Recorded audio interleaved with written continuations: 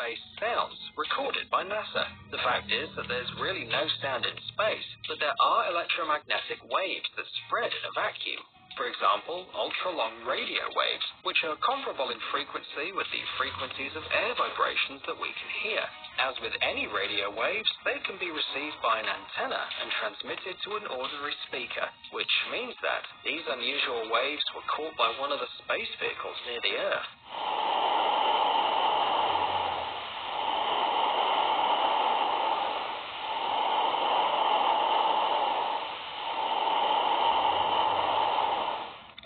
Lightning on the surface of Jupiter sounds.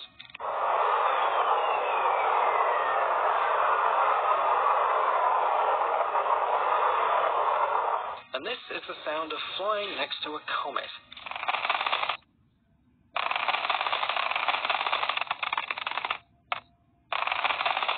Quite different are the noises made by one of the stars with a complex name of numbers and letters.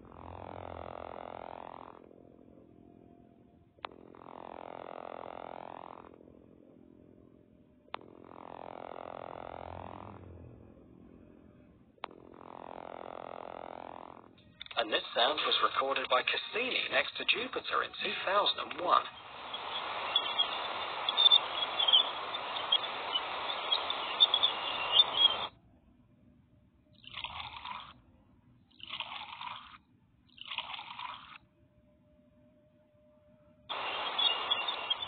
But the sound of the black hole is unfortunately recreated because so far humanity has not been able to get close to these eerie areas of space. But scientists claim that from a musical point of view, radio noise from a black hole corresponds to a B flat note, only 57 octaves lower than C of the third octave. It is far beyond the limits of human hearing.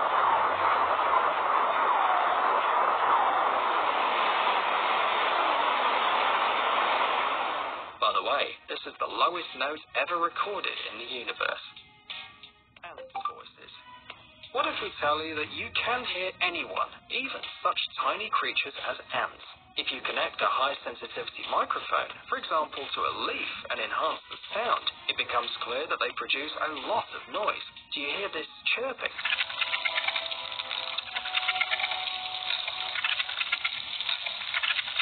With this sound, the ants call their colleagues to dine, and if one of the insects falls into a trap, it starts to produce a slightly different sound.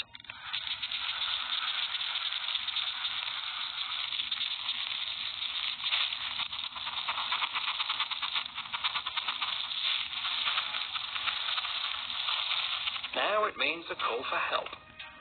Guys, it's time to recharge your brain. Visit the channel Brain Time.